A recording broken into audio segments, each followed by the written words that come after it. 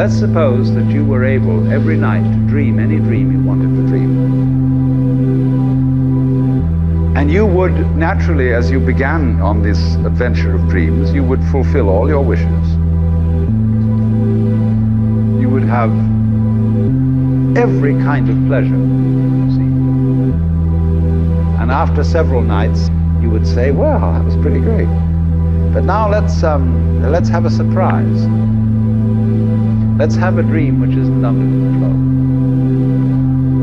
Well, something is going to happen to me that I don't know what it's going to be. Then you would get more and more adventurous, and you would make further and further out gambles as to what you would dream. Finally, you would dream where you are now.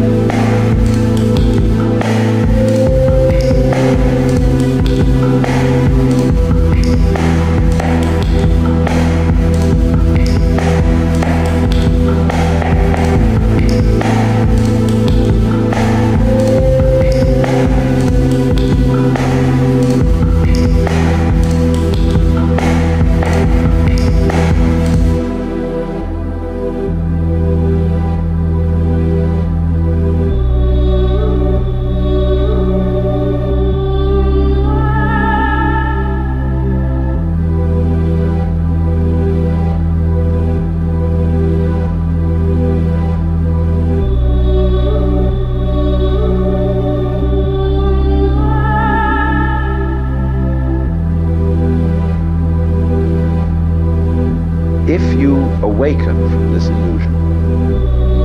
And you understand that black implies white, self implies other, life implies death, you can feel yourself not as a stranger in the world, not as something here on probation, not as something that has arrived here by fluke but you can begin to feel your own existence as absolutely fundamental. What you are basically, deep, deep down, far, far in, is simply the fabric and structure of existence itself.